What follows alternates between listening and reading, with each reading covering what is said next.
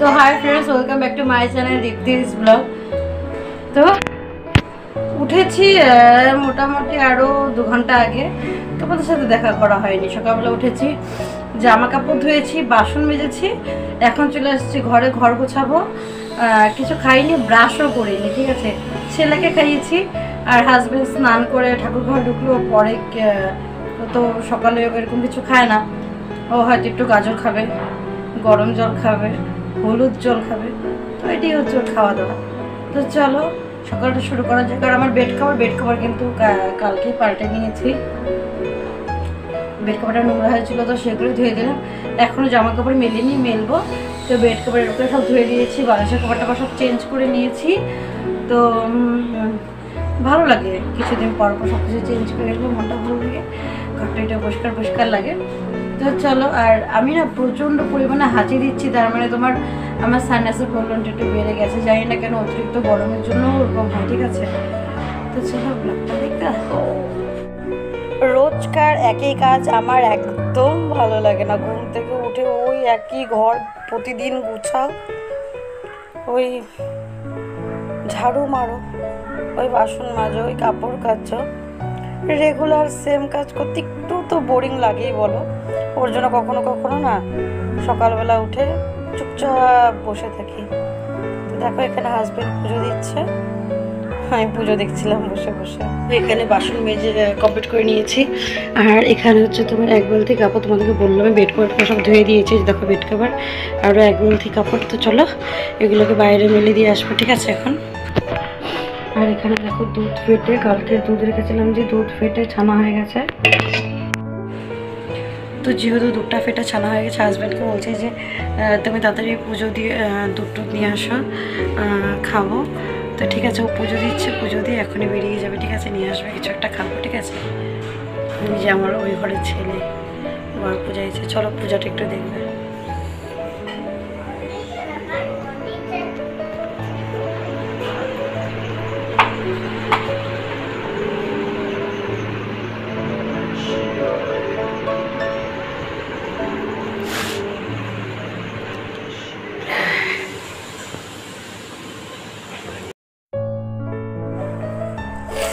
আমার হাজব্যান্ড যেদিন ঠাকুর ঘরে ঢুকে ঠাকুর পূজা দেয়, বলতে পারো আমি একা হাতে সব সামলাই তো একটু হেল্প পাই। বড় আমি পুজো দিতে ভীষণ ভালোবাসি, কিন্তু সংসার অন্য অন্য কাজগুলো তার হাজব্যান্ডকে দিয়ে সবসময় করানো সম্ভব না।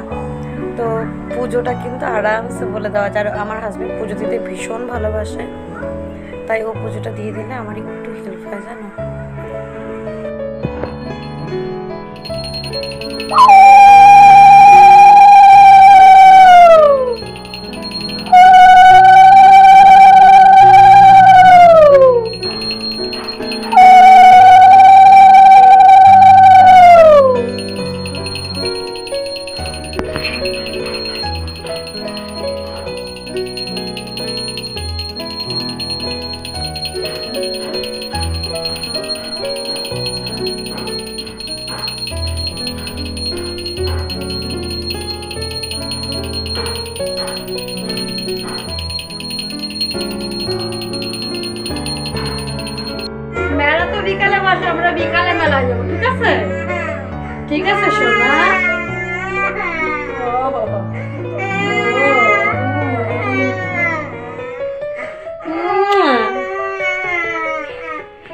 আমাদের দেবরাজ মেলায় যাব, ওর বাবাকে একটু দোকানে পাঠিয়েছি। বললাম না দোকানে যাবে?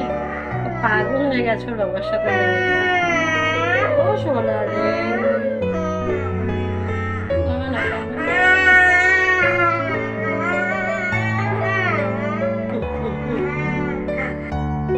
তো দেখো, এখন আমি এই যে ভাত খাচ্ছি, ছেলেকে খাইয়ে দিলাম ভাত। আমিও ভাত খাচ্ছি, বাইরে পড়ছে বৃষ্টি।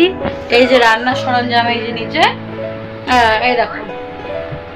তো এগুলো এখনও রান্না করতে গিয়েছিলাম, খিদে পেয়েছে। কালকে ডাল, আলু ভাজি, ডিম ভাজি ছিল, তো সেটা দিয়ে এখন ভাত খাচ্ছি, ঠিক আছে? তোমার সাথে দেখা হচ্ছে আবার একটু পরে, ঠিক আছে? এখানে অন্ধকার অন্ধকার দেখা যাচ্ছে না? লাইট জ্বালিয়ে বসে নিয়ে যাচ্ছে। এখানে কতগুলো আলু সিদ্ধ আর নামার সময় মিষ্টি চাললে আর কড়াইতে আছে পেঁয়াজ, রসুন আর জোহা বোল তোমরা কি বলো? আমি ঠিক জানি তো এগুলো দিয়ে এই শুকনা মাছটা বানাবো। তো শুকনা মাছ আমার মনে হয় বাঙালিদের একটা প্রিয় খাবারের মধ্যে পড়ে শুকনা মাছ। শুকনা মাছ হলে আর কমসে কম তো আমার আর আমার হাজবেন্ডের যদি শুকনো মাছের তরকারি হয়, তাহলে মনে করো আজকে আর আর কিচ্ছু লাগবে না, এটা দিয়ে খাওয়া হয়ে যাবে। শুকনা মাছটা আমরা খুব ভালো খাই। শুকনা মাছের এরকমভাবে আলু দিয়ে আলু একটু বয়েল করে এই জোহা ভোলটা দিয়ে তরকারি বা মনে করো শুকনা মাছের চাটনি হোক, বা তোমার শুকনা মাছ দিয়ে শুধু আলুর তরকারি বা শুকনা মাছ তোমার যেটাই বলো আর কি, শুকনা মাছ দিয়ে তো অনেক রকম বানানো যায়। তো যেটাই বানাবে, ও আলু বেগুন দিয়ে, ওটাও বেশ টেস্টি হয়। ও তো, আমি এখানে না একটু আলুগুলো একটু তোমরা দেখতে পারলে ক্ষমতা দিয়ে ইসে করছিলাম, তো আলুগুলো একটু ভেঙে ভেঙে ভেঙে ভেঙে দিলাম, তাহলে তরকারিটা একটু টেস্ট হয়। আর এই ছোটো মগটা দিয়ে দুই মগের মতো জল দিয়ে এটাকে বয়ল করে নামিয়ে নিব। আমার হাজবেন্ড এই এই তরকারিটা তো ভীষণ ভালো খায়, এই জোহাবো দিয়ে শুকনা মাছ। মানে বলতে পারো, ওর মানে একটা প্রিয় খাবারের মধ্যে পড়ে আর কি। এই জোহাবল নিয়ে এসে বলছে, দীপ্তি, এটাই কিন্তু বানাবে, এটাই কিন্তু বানাবে। তো সেই দিন তো বানিয়েছি বাট যেহেতু আরও ছিল মানে জোহাবলের কথা বলছি, ওগুলো তো বেশি দিন থাকে না, নষ্ট হয়ে যায়। তাই আজকেও বানিয়ে নিলাম। রান্নার পরে এই যে বাসন জমে এই সকালে একবার বাসন ধোবো, তারপরে না আবার বাসন জমে যায়, জানো? তো কখনো কখনো একটাই আমি বাসন মাজি, আবার কখনো দুবারও মাজি, বারবার বারবার বারবার মাজি না। আর দেখতে পাচ্ছ এই যে রান্না বসিয়ে রেখে একটা ঘর আমি গ্যাসটা মুছে নিচ্ছি, তার মানে কি বলতো? এই স্বভাবটার জন্য আমার হাতটা পুড়েছিল। এই কিছুদিন আগে আমার হাত পুড়ে গেছিল। তোমরা সবাই ব্লগে দেখেছ, যারা যারা দেখেছ আগের ব্লগে তো এই কড়াই বসিয়ে রেখে গ্যাস মোছা, এটা আমার একটা খুব বাজে স্বভাব। আমি অন্যদিন সার্ভ দিই না, তো আজকে সার্ভ দিচ্ছি। গ্যাসটা মানে একদিন পর পর সার্ভ দিই, তাহলে গ্যাসটা ভালো লাগে, পরিষ্কার পরিষ্কার লাগে। আর তার মধ্যে বুঝতেই পারো, আজকে শুকনা মাছ হয়েছে, একটা গন্ধ গন্ধ ভাব হয়। তো মাছ মাংস হলে তো সার্ভ না দিয়ে থাকাই যায় একটু নিরামিষ হলে তাও একটু গ্যাপ দেওয়া যায়। রান্নার জায়গাটা হলো পরিষ্কার একটা জায়গা, তাই না? ওই জায়গাটা পরিষ্কার পরিচ্ছন্ন থাকলে সব কিছুতেই ভালো লাগে। তো ওদিকে রান্না হয়ে যাচ্ছে, তার মানে রান্না হয়ে গেলেই গ্যাসটা মুছতাম বাট যেতে হবে তোমার একটু বাইরে বেরোতে হবে। তো ওই কারণে মানে তাড়াতাড়ি তাড়াতাড়ি করে করে ফেললাম, না হলে আবার দেরি হয়ে যাবে। আর কড়াইটা নামিয়ে তারপর তোমার ফিনিশিং একটুখানি একটু মুছে নিব, তাহলেই হবে। আর মানে একদম মানে তেল কাজটাটা চলে গেছে, এখন খালি রান্নাটা নামানোর পরে একটুখানি হালকা করে লাস্টের দিকে একটু মুছে নেব, বুঝলে? আর আমার ঘরে না ইঁদুর হয়েছে, জানো? মানে মাথা নষ্ট, ওদিন দেখি একটা কৌটা একদম আটা ছিল, বুঝলে? কৌটাটার ভেতরে। আটা টাটা খেয়ে কৌটার মুখটা ফুটা করে ঢুকে আটা টাটা খেয়ে কি অবস্থা? আটার মধ্যে বিচ্ছিরি গন্ধ মানে চিকা ছিল, বুঝলে? ওটা ইঁদুর না, চিকা ছিল। চিকার কি বিচ্ছিরি গন্ধ? তো দেখি কি করি, কিছু একটা করতে হবে। ফাঁদ বলে না, ফাঁদ আছে দুটো। ওগুলোর মধ্যে ফাঁসে না গো। কত কিছু বিস্কুট টিস্কুট হাবি জাবি দিয়ে রাখি।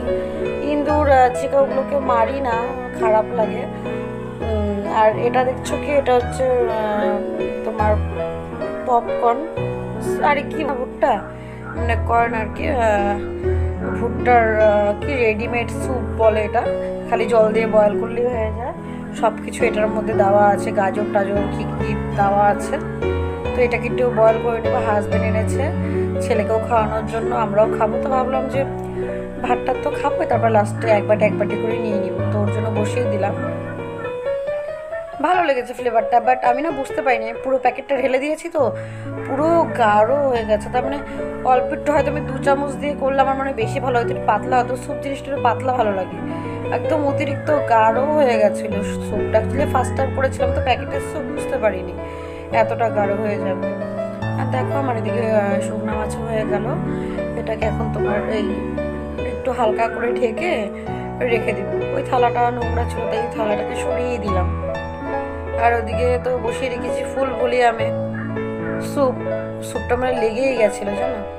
তারপরে আবার তো ওই জোর ভালো করে নাড়াটা নাড়াটা দিয়ে আবার ঠিকঠাক করলাম। তো টেস্টি ছিল, বুঝলে? আমি বারবার নাকের কাছে নিয়ে ওটার গন্ধ শুনছিলাম, কীরকম, কীরকম গন্ধটা, কীরকম গন্ধটা বেশ ভালোই ছিল বাট খেতে একটু থকথকে থকথকে একটা ভাব হয়েছিল, যেটা আমার একদম ভালো লাগছিল না। আমার একটু পাতলা হলে ভালো হতো। এটা এখন পাতলা দেখছ তো? এটা যখন আমি গ্যাসের থেকে নামিয়েছি, দেখি যখন ঠান্ডা হয়েছে, একবারে তোমার কি বলব, যেন জেলির মতো হয়ে গেছে। যাই হোক খেতে ভালোই ছিল। পুরোটা খেতে পারিনি, কিছুটা নিচে পড়ে গেছিল। তো এই হচ্ছে, তোমার, আমার রান্নাবাড়ির পর্ব। আমি বেশি কিছু কোনোদিনই রান্না করি না। খাবে কে বলো হাজব্যান্ড তো হয়তো একটা হোটেলেই খায়, যেহেতু ঘরে থাকে না। বাইরে বাইরে যেতে হয়, তো ঘরে আসার টাইমই হয় না। তো ওর জন্য ওকে বাইরেই খেতে হয়। কোনো দিন ঘরে আসলে ঘরে খায়, ঘরে না আসলে বাইরেই খেয়ে নেয়। পেট তো বলে খিদে পেলে খেয়ে নেয় আর কি। হ্যাঁ আমার দেখো, এই যে লাস্টে একটু গ্যাসটা মুছে নিলাম, ব্যাস।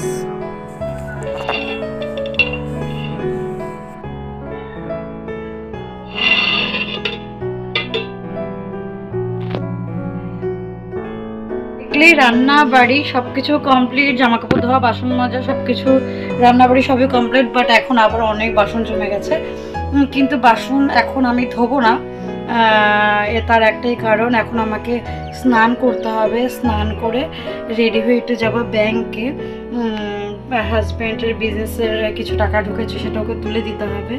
তো সেই কারণে একটু ব্যাংকে যাব। ছেলেরও স্নান হয়ে গেছে, ছেলেকে নিয়েই যাব ব্যাংকে তো চলো। আমি তো খাওয়া দাওয়া করে নিয়েছি। সকালে মোটামুটি স্নানের মতন একবার করেইছি। সকালবেলা স্নানের মতো মোটামুটি একবার হয়ে গেছে। তো যেহেতু গরম আর একবার এখন ভালো করে স্নান করব, ঠিক আছে? তো চলো ব্লগটা দেখতে থাকো, নিশ্চয়ই ভালো লাগবে। তো দেখতেই পাচ্ছ, বেরিয়ে গেছি। তো যাচ্ছি ব্যাংকে। ব্যাংকে যাই। এরপরে কোথায় যাব, কোথায় না যাব, তোমাদের সাথে সবটাই শেয়ার করব। এখনও বুঝতে পারছি না কি করব। বাজারে অনেকদিন পর বাজারে যাচ্ছি। আরে দেখো আমার ছেলে। আমার ছেলেটা না ভীষণ ভদ্র। দেখো, ও যেখানে যায়, ও একা একা হাঁটেই দেখো।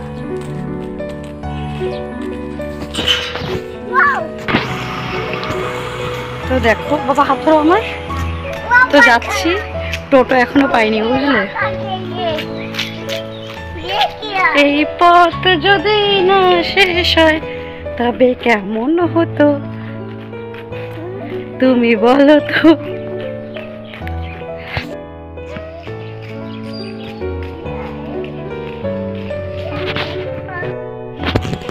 তো দেখো বৃষ্টি হয়েছে রাস্তায় জল জমে গেছে। এরকম বৃষ্টি হয়েছে বুঝলে? এই বৃষ্টি হয় এই রোদ ওঠে এই বৃষ্টি হয় এই রোদ ওঠে তো এরকমই চলছে। ওয়েদারটা এখন ভালো লাগছে। চুলগুলো বাঁধিনি চুলটা শ্যাম্পু করেছিলাম তো। তো শ্যাম্পু করার পরে তোমার চুলগুলো ভেজা ছিল তো তার জন্য চুলগুলোকে বাঁধিনি বুঝলে? এখন চুলগুলো ক্লিপ আছে ব্যাগের মধ্যে, বুঝলে? চুলগুলোকে বেঁধে নিব। মুখের মধ্যে রোদ পড়ছে। তো চলো তোমার সাথে একটু পরে দেখা হচ্ছে আবার, ঠিক আছে? ওই জায়গাটা দাঁড়িয়ে এই দেখো, মাথার উপরে যে গাছটা আছে না, গাছটা কিন্তু খুব সুন্দর, দেখছ?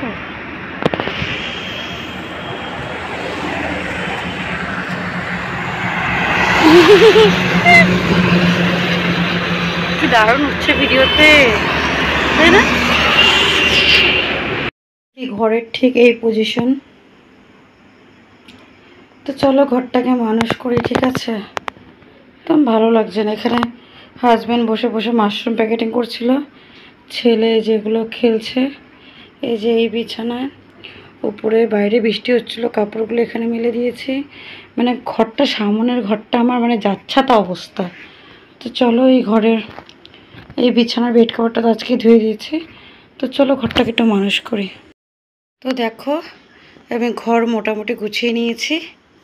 ঠিক আছে আগে তো তোমরা দেখলে কি অবস্থায় দেখো। হ্যাঁ।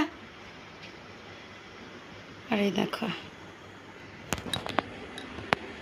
আর এখানে মাশরুম এগুলো খারাপ হয়ে গেছে, এগুলো ফ্রিজার থেকে বের করে নিচে রাখছে। এগুলোকেও পরিষ্কার করতে হবে। আর এই যে, আমার লক্ষ্মী ছেলে আস্তে আস্তে, বাজার থেকে আস্তে আস্তে ঘুমিয়ে পড়েছে গাড়িতে, ঠিক আছে? ওকে শুয়ে দিয়েছি। এখন এগুলো পরিষ্কার করব বাট এগুলো পরিষ্কার করার আগে আমি এক কাপ চা খাব, ঠিক আছে? আমার দুধও এসে গেছে গাখি এলা চলো দুধটাকে নিয়ে আসি।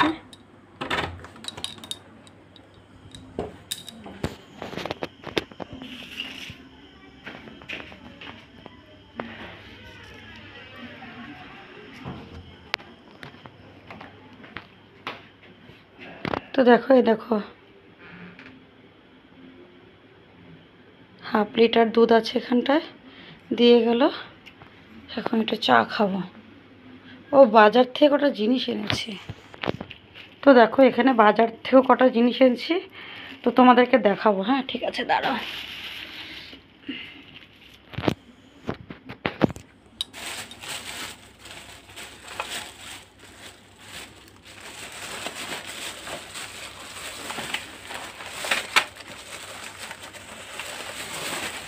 এটাতে না ঠাকুরের ভোগ আছে।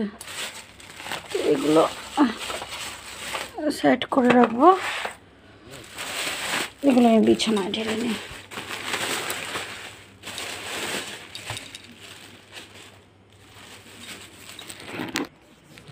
তো দেখো, ওই যে ঠাকুরের ভোগ ওখানে ঝুলিয়ে রাখলাম, ঠিক আছে? আর সন্ধ্যা দিইনি গো, এসে আর ঠাকুর ঘর ঢোকাই হয়নি। হাজব্যান্ড এসে ঢুকবে। তো দেখো, এই বিস্কুটের প্যাকেটটা এনেছি। এটা এটা দাম নিয়েছে তোমার একশো দশ টাকা, ঠিক আছে? বিস্কুটটা খেতে খুব টেস্টি। হুম। এই যে একশো দশ টাকা লেখাই আছে হ্যাঁ? আর এই একটা বিস্কুট নিয়েছি। এটার প্রাইস কত আছে? আমি জানি না এটার প্রাইস কত। ও, এটা থার্টি ফাইভ এখানে আরেকটা বিস্কুট নিয়েছি, এটা ছেলের জন্য। এটার প্রাইস কত বা কে জানে? এটা হচ্ছে টোয়েন্টি ফাইভ আর এখানে একটা সিঙ্গারা আছে, একটা কচুরি আছে, এটা এখন খাব। তো চলো, চা বানাই। আমার প্রচুর পরিমাণে খিদে পেয়ে গেছে, প্রচুর পরিমাণে, বুঝলে? মানে কি বাজার থেকে এসে একটা ভিডিও এই মাত্রই তোমার আপলোড করলাম। আপলোড না একটা ভিডিও এই মাত্রই পোস্ট করলাম। আর তারপরে ঘরগুলোর যে অবস্থা মানে ওই অবস্থা মানে এত খিদে পেটে তাও খেতে পারছি না, বুঝলে? ঘরগুলোর অবস্থার জন্য। ভাবছি যে ঘরগুলোকে মানুষ করে নিই, তারপরে খাব। তো ঘরগুলোকে মোটামুটি মানুষ করে নিলাম। এই ঘরটা ঝাড়ু মারা বাকি আছে, তোমাদের সাথে একটু গল্প করে নিচ্ছি। তার মানে দিদিকে একটু ফোন করে ভাবলাম তোমাদের সাথে কথাটা একটু শেষ করে পরে ফোনটা করি। তো এটাই বলছিলাম যে, এখন ঘরটা ঝাড়ু মারবো। মেরে এখনও চা বানিয়ে না, আমি ঘেমে যাচ্ছি, দেখছ? প্রচুর পরিমাণে খিদে পেয়েছে, প্রচুর।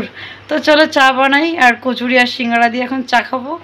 ছেলে মনে হয় না কি বা উঠবে কিনা জানি না, এখন তো অনেকটা রাত হয়ে গেছে, সাড়ে সাতটা বাজে। ছেলে উঠবে কিনা ঠিক নেই, ঠিক আছে? তো চলো, চা বানাই, চা খাই। চা খাওয়াটা মনে হচ্ছে তোমাদের সাথে শেয়ার করতে পারব না, কারণ এখন আমি ফোন করব, ঠিক আছে? তো চলো, একটু পরে দেখা হচ্ছে।